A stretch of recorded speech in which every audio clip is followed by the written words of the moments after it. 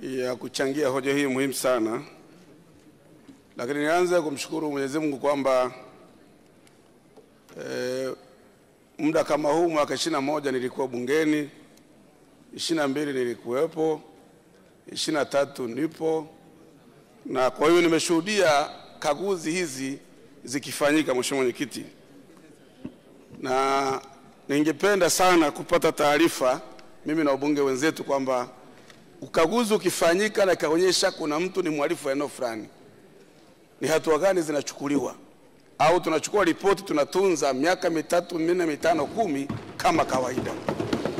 Na Mheshimiwa Mwenyekiti, nataka nimpongeze Mheshimiwa Rais Mama Samia, mama wa taifa, kwamba ameongeza nguvu ya serikali kumteua Mheshimiwa Doto Biteko, naibu waziri mkuu, kufanya kazi ya kusaidia serikali.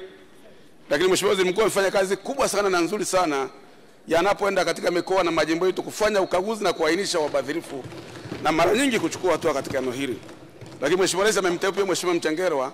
Nimefurahi kazi imeanza kwa kasi kwa kuwajibisha watu ambao wanavuja fedha katika halmashauri, na Mheshimiwa Rais ameunda kamati ambayo ilipitia Wizara ya Mambo ya Nje e, na mashirika ya Afrika Mashariki na kumwonyesha namna ambavyo kuna uozo na upendeleo katika ajira maeneo mbalimbali. Namwomba Mheshimiwa Rais kamati ile isiishie pale, iende ikachunguze Wizara ya Mambo ya Ndani, iende ikachunguze ofisi TAMISEMI, iende kuangalia marasi, iangalie marasi, iangalie madedi na madisi, kweli wana uwezo kufanya kazi waliopewa na kama wanamsaidia. Lakini Mheshimiwa Mwenyekiti, nataka niombe waheshimiwa waziri wakitaka kutoa taarifa tunapochangia ripoti hii waangalie maswali ambayo wanaulizwa katika bunge hili. Mbunge anatoa mishipa hapa, anaomba apelekewe milioni hamsini kujenga zahanati. Wewe unatuambia kuna mtumishi mmoja wa umma Mtanzania mwenzetu amekula mabilioni, anatembea na mavyeksi mtaani na bado tunampigia makofi. Naomba hili Mheshimiwa Waziri mliangalie sana tunapochangia hoja hii. Mkaguzi mkuu wa serikali ni daktari, ameenda amechunguza taarifa, amekuambia hapa kuna wizi alafu wewe unaambiwa unaumwa malaria, unasema hapana, mimi siumwi. Hii sio sawa, sio sawa hata kidogo. Na kwa sababu hiyo, Mheshimiwa Mwenyekiti, kasi ya Mheshimiwa Rais kutafuta fedha ni kubwa sana, lakini bahati mbaya kasi ya kuiba fedha za umma imekuwa kubwa sana vile vile. Maana yake ni kwamba unachota maji unaweka kwenye mkono wako wa kushoto, alafu huko kibaka mwingine anatoboa lile pakacha, maji yanavuja. Kwa mwisho wa siku hautajaza hilo pipa. Naomba waheshimiwa wabunge, tena wengi hapo ni wa Chama cha Mapinduzi, karibu wote hapo, kama kuna waziri ataondolewa pale kwa uzembe, ataingia kada wa Chama cha Mapinduzi mwingine. Kama kuna mtumishi mwingine atawajibishwa, atakayeingia kwenye nafasi hiyo ni Mtanzania mwenzetu. Hili bunge linasubiriwa na Watanzania kwamba mnamsaidia Mheshimiwa Rais, mnawasemea Watanzania. Mheshimiwa Mwenyekiti, kamati imetoa mapendekezo. Mimi hii kamati hii imetoa mapendekezo mazuri, lakini yamepungukiwa uzito. Mimi nilitarajia watuambie hapa, baada ya ripoti ya CAG wangapi wamefungwa kwa wizi wa umma. Baada ya ripoti hiyo tuambie wangapi wamefukuzwa kazi.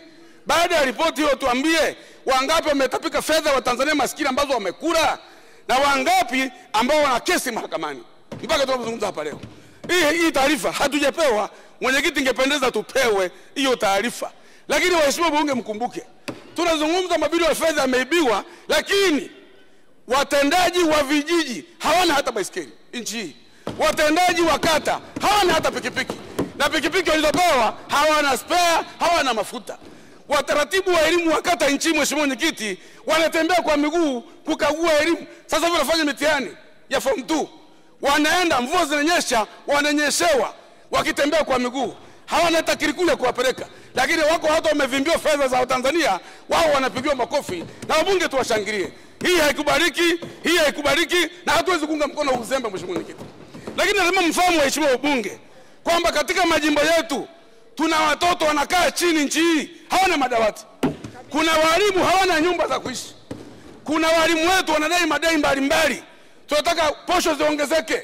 Vijana wetu wako mtaani tungepata fedha ikafanya kazi vizuri, maana yake serikali ingeajiri vijana wa Tanzania waliosomeshwa na wachungaji, wakulima, wafugaji na wako mtaani, kwa sababu serikali ina fedha nyingi ya kuajiri watu hao. Mheshimiwa Mwenyekiti, katika mjadala huu tutawaomba wenzetu waliofanya uzembe katika maeneo mbalimbali, na mimi na mapendekezo ambayo sio rahisi sana.